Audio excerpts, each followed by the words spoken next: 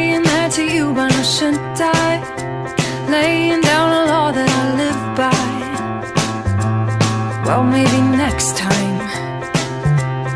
I've got a thick tongue, brimming with the words that go unsung.